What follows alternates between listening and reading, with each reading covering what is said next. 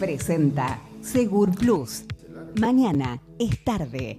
Hoy, Segur Plus. Alarmas para propiedades, comercios, industrias, cámaras con video verificación, cercos energizados en ciudad y campo. Segur Plus. Arana 448. Teléfono 444 0310. Le damos la bienvenida a Víctor Bravo aquí en Tandil Despierta en esta jornada de martes. ¿Cómo le va? ¿Cómo está usted? Buen día, Rodolfo. Gracias por la invitación, como siempre. Al contrario, un placer tenerlo con nosotros. Y bueno, en este caso para hablar de cuestiones que tienen que ver con seguridad, que tienen que ver con bueno, avances en tecnología, con cuestiones a tener en cuenta cuando uno está diagramando un sistema de seguridad, ¿no? Exacto, Rodolfo. Eh, o sea, más allá de que tenemos una mucha variedad de tecnología en lo que hace a, seguridad. También hay que eh, ver cómo se diagrama, cómo se tiene un análisis de riesgo, cómo se inicia la prevención para una casa de familia, para un comercio, para una industria, qué es lo que el cliente final tiene que tener en cuenta al momento que un jefe de seguridad, que es así como se llama lo que provee una empresa de seguridad física, ¿qué es lo que hay que analizar? Se llaman anillos, anillos eh, de protección. Estos anillos son tres y siempre para evaluar un riesgo se inicia desde el primer anillo, o sea, el exterior, llegando al anillo medio y llegando al anillo interior. Estos en realidad son filtros de, de equipos de seguridad que con barreras propias de la, de la propiedad se va teniendo en cuenta para evitar su vulnerabilidad final. Correcto, digamos, trabajar en etapas. Exacto, exacto. ¿Qué es lo que tiene que ver un analista de riesgo o un jefe de seguridad? Analiza primero el primer anillo, el exterior.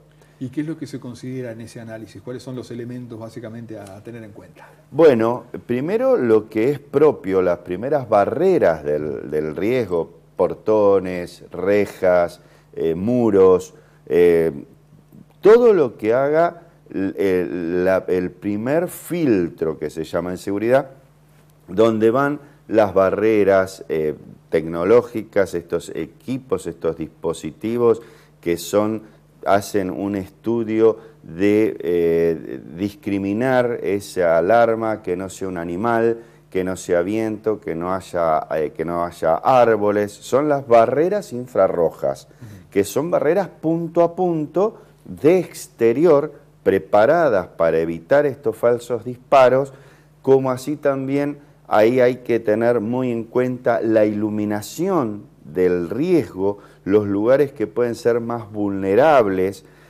para hacer la primer barrera de detección de intrusión a, a una propiedad. Es lo exterior, la parte que intimida al atacante. Es la primer, el primer anillo que se llama. Bien.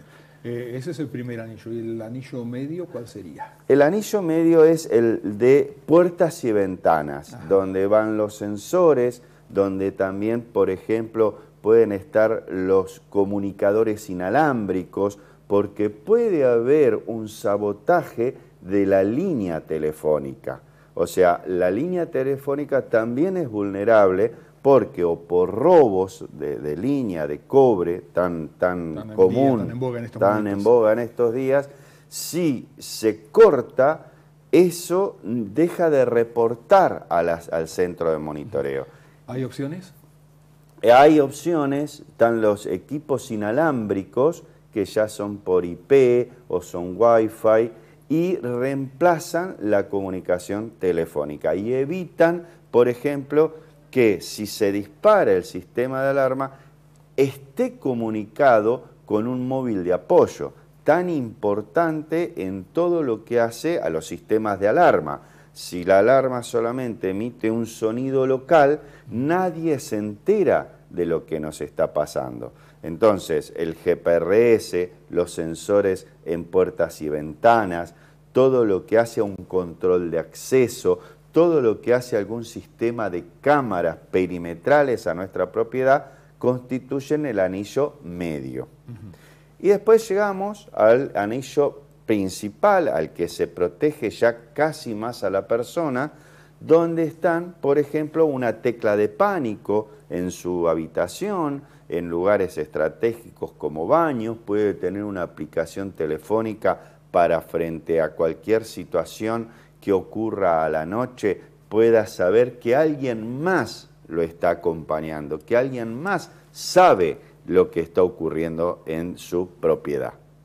Estos son los tres anillos que siempre un jefe de seguridad o un asesor comercial debe analizar porque más allá de que exista la tecnología muy variada de sensores de exterior, sensores en puertas y ventanas, que por ejemplo los sensores en todas las puertas y ventanas permite activar el sistema quedándose uno dentro de su propiedad. Entonces, frente a una barreta o a un ingreso, siempre eso se dispara, por esto lo que sugerimos el tema de un comunicador inalámbrico para no quedarse sin comunicación.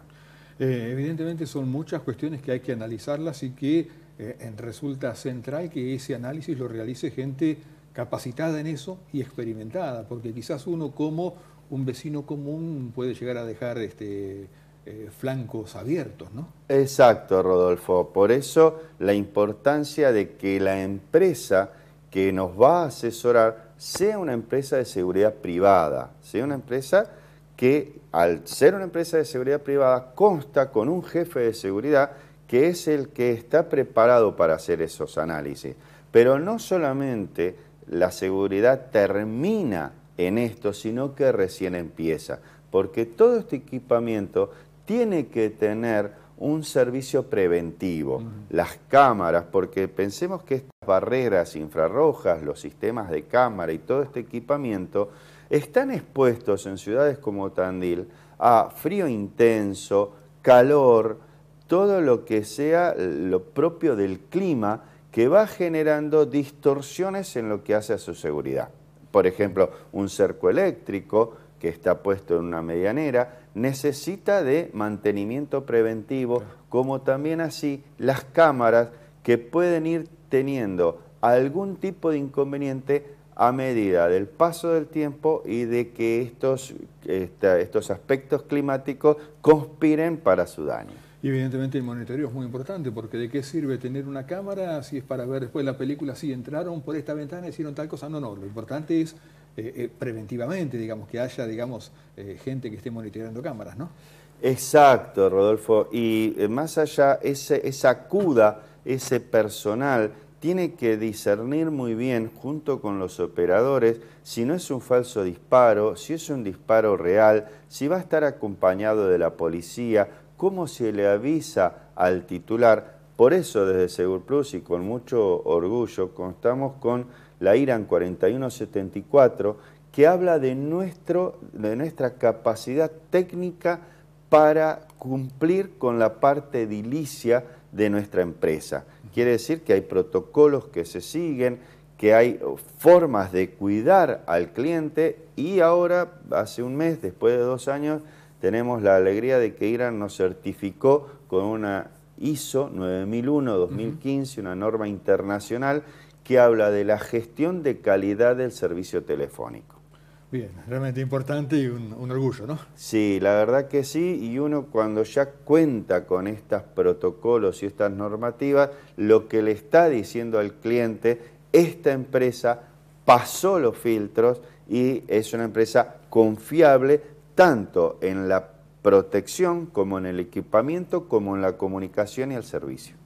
Dentro de todo eso también un rol fundamental, eh, eh, sabemos que es así por eso y que ustedes lo tienen bien asimilado, es la contención de la víctima cuando ocurre un, hecho de estas características, incluso, bueno, el, momento de comunicar algún tipo de información, bueno, están realmente preparados para eh, contener a, quien ha sufrido un delito, ¿no? Qué, qué bien que traes eso, Rodolfo, porque el operador más allá de la tensión técnica que puede ser a consecuencia de un disparo de alarma, es muy importante que no solamente haga la primera contención, sino que cierre el evento. Si ocurrió algo, si ocurrió una emergencia médica, una llamada a policía, un llamado bombero, que después se ocupe de ver en qué situación quedó cerrado eso que fue un imprevisto, pero que estaba destinado a cuidar al cliente es la importancia justamente de una empresa de Tandil donde bueno está ese seguimiento permanente y las ganas de estar siempre junto al cliente, ¿no? más que clientes amigos. Sí, Rodolfo, porque también es muy importante que la central de monitoreo esté en Tandil, porque su gente conocen la idiosincrasia, conocen las calles, conocen las ubicaciones de los riesgos, que es un valor agregado al servicio de monitoreo. Víctor, gracias por esta presencia aquí en Tandil Despierta. No sé si hay algo más para comentar en esta oportunidad y si no, bueno, nos vemos el próximo martes. No, agradecer como siempre y bueno, saludar por, por esta Semana Santa que es una, una alegría de recibir eh, visitantes a nuestra ciudad. Muchas gracias y lo mejor para usted y para su familia. Gracias, Rodolfo. Víctor Bravo de Segur Plus hablando aquí con nosotros, cuestiones que tienen que ver con seguridad, eh, bueno, cómo ir instrumentando todo el sistema y por supuesto consideraciones más que importantes. Víctor Bravo en Tandil Despierta. Presentó Segur Plus. Mañana es tarde. Hoy, Segur Plus. Alarmas para propiedades, comercios, industrias, cámaras con video verificación, cercos energizados en ciudad y campo. Segur Plus, Arana 448, teléfono 444 0310.